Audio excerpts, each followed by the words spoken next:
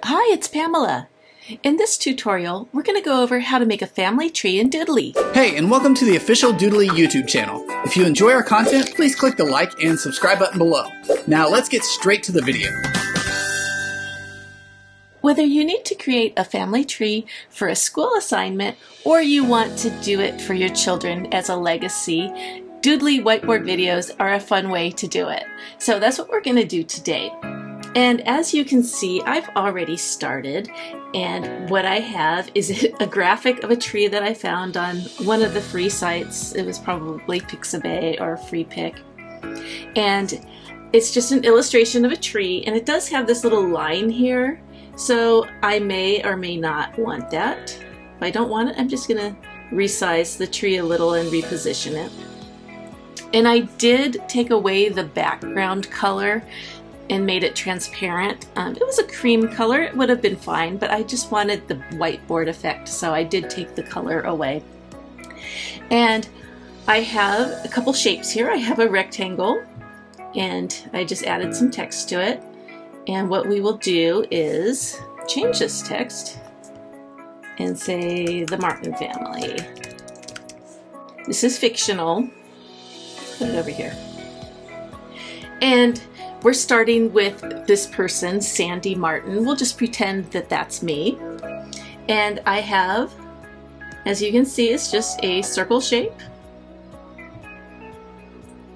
some text, and a little doodly graphic.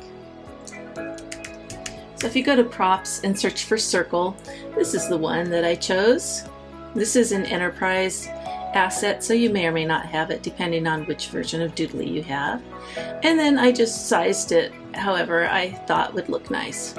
So what we're going to do is we're going to put Sandy's parents.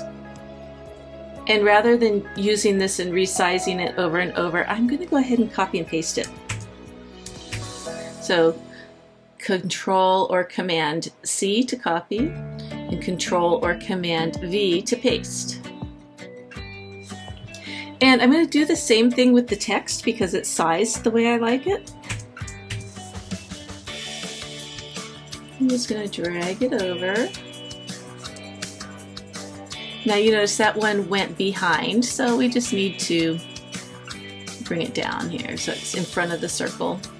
And we'll arrange these in a moment. So let's say her dad is Jim and her mom is Cynthia. And then what I started with was the little doodly character. And if you want to do that and you want to find some characters that represent these people, you could do that. I'll show you how. So I have this man here. It's going to be too large. So we need to shrink him down to size. We're going to say this is the dad, Jim Martin. Now you'll notice we are limited to how small we can make him. So he's either going to hang out like this, which doesn't look bad. You know, we could put his birth years and death date if he has one on here, and that would be okay. But what I want to do today is use actual photos instead of doodly characters. So let's go over to props. I have already added them. I made them circular in shape so that they'll fit in nicely to our little circles. So let's go ahead and delete Sandy and Jim. And let's put in actual photos. So let's say this is Sandy. I just want to add her. She's going to be too big, so we're just going to shrink her down and move her into place. Let's take her name and bring it to the foreground by dragging it. And let's put it down here, like so. So there's Sandy. I may change the color of her name so it stands out a little more. We'll see. And then let's make her dad be this guy. And let's bring his name to the foreground and we'll bring it down. Okay, and now we need her mother, which will make this nice lady here. So now we have her parents, now we need her grandparents. So it's the same process. So let's go ahead and copy and paste one of the circles. We'll do it again. So those are going to be her parents. And then we're going to do it again for his parents. So here's a grandpa. Now I have a little branch I'm going to add. And we may or may not use it, but I thought this might be kind of fun to connect them. So if I wanted to add, you know, maybe I put her kids here. And we could add, you know, kind of going out. These would be her kids. Or if we needed to extend the tree branches out for the grandparents. And that's something that we could do. I'm not going to do that because I'm keeping my tree just kind of simple with the, her parents and grandparents. But it is an option. Now, right now, it's a jumbled mess. If we were to do a preview, you would see that it's just going to be kind of random here.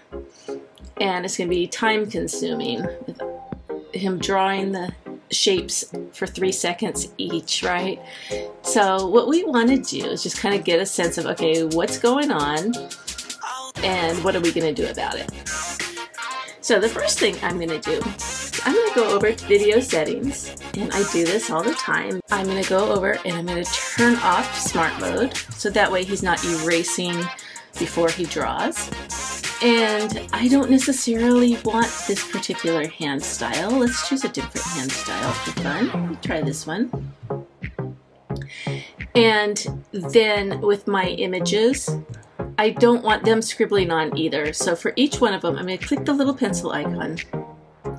And instead of having it scribble on, I'm going to turn it to fade on. I'm going to do that for all of them. I'll fast forward so you don't have to see me do this. Now for every one of these little circles, I want to change it from a three second draw on to one second, okay? And same with this rectangle up top here. So I'm changing the duration to one second on all of them. That's to save me a lot of time. And then the tree itself. Do I want it already on the scene when we start or do I want it to draw or fade on? It would be kind of cool to draw it on if we have the luxury of time. So to do that, you click the little pencil icon.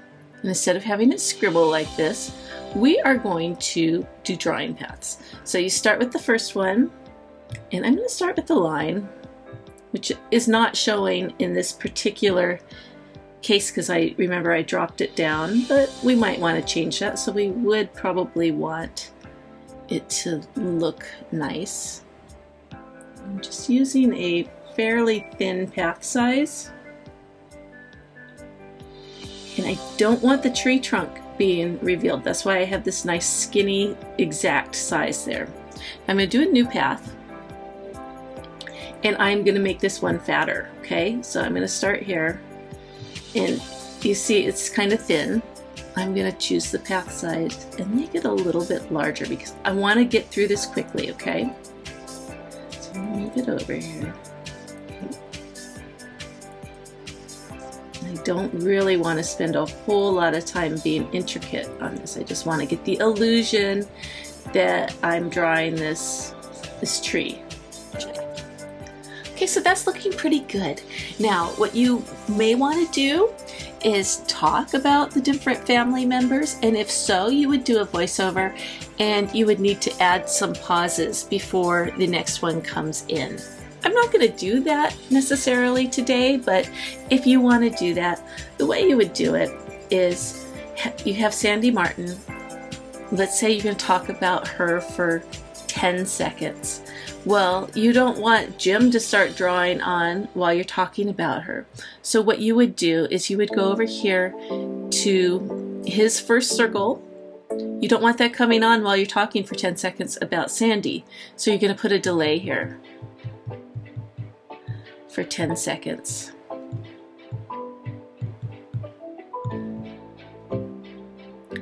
And then you could talk about him for however long and put a delay before the circle for Cynthia comes on or whoever, okay?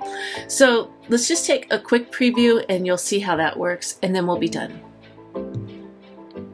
So here comes our tree, then our little nameplate, and then here's Sandy Martin. And then we can talk about her for 10 seconds, remember, before her father comes on. So blah, blah, blah, da da da da da. She was born in Idaho and this and that. And her father was Jim Martin. And her mother was Cynthia Martin. And so on and so forth. And that's the basics of creating a family tree in Doodly. Thanks for watching!